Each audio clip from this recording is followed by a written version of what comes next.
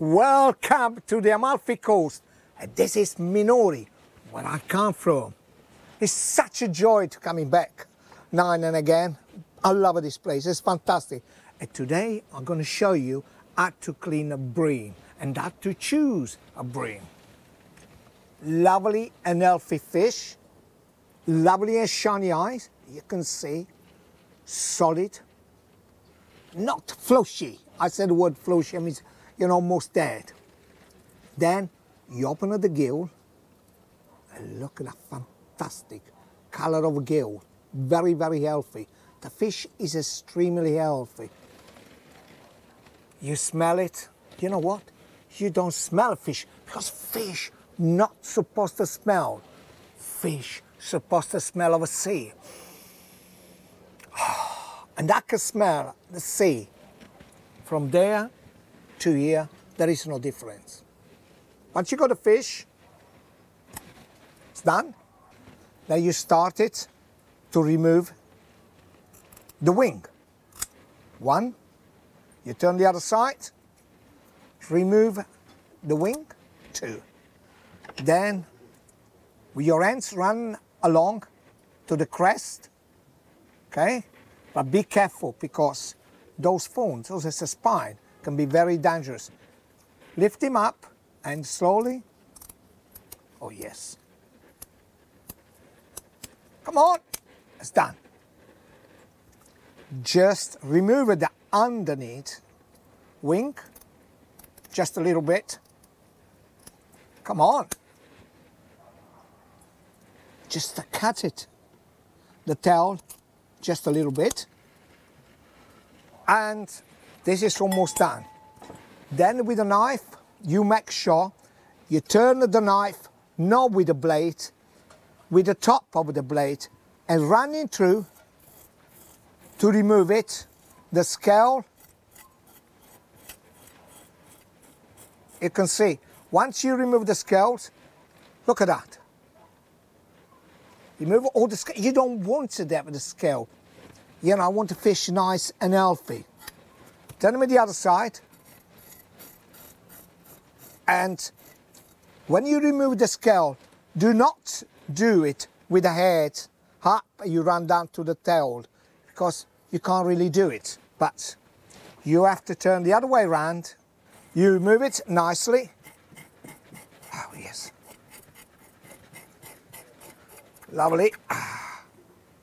Now, with a knife, oh look, I forgot, the two little winker. Yeah, with a knife, you start from the inside, put them on, a chopping board. Be careful when you cut it. You cut it right through. Be careful your hands. You can see the way I'm placing my hands on a fish is a solid. You cut it right down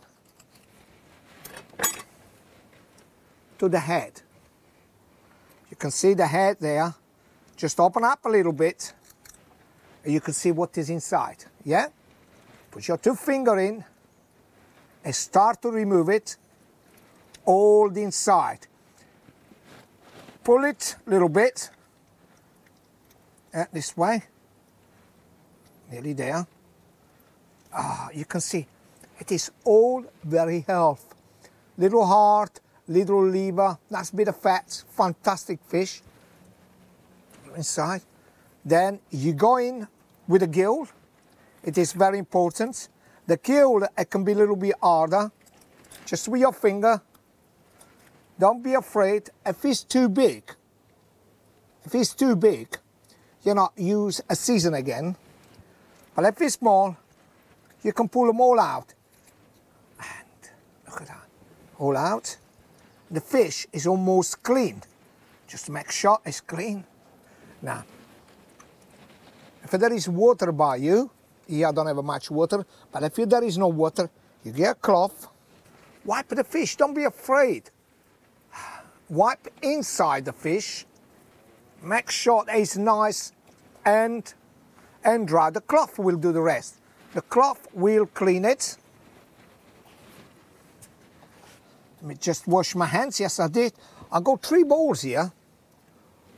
One, you put all the, the trimming, stuff you don't use it. Got another bowl, where I'm gonna place the fish inside. And if you work by the sink, you don't have to have a bowl. Here, I don't have a sink. I'm forgetting Amalfi Coast up the hills, remove everything, and look, a lovely, clean, a beautiful fish there is. Lovely and dry. And then when it's dry, with your hands, you can pull the little skin. You can see the skin is here, and slowly, slowly, slowly, you put this, you pull him out, the skin. Get a cloth again in. Don't need any water. You go perfect, healthy fish. Come on. If you want to see me how to cook this fish, you go on Jamie Oliver food channels on YouTube. And you can see me cooking so many different ways. My God, I'm waiting for you. Come to see me in Amalfi Coast. Why not?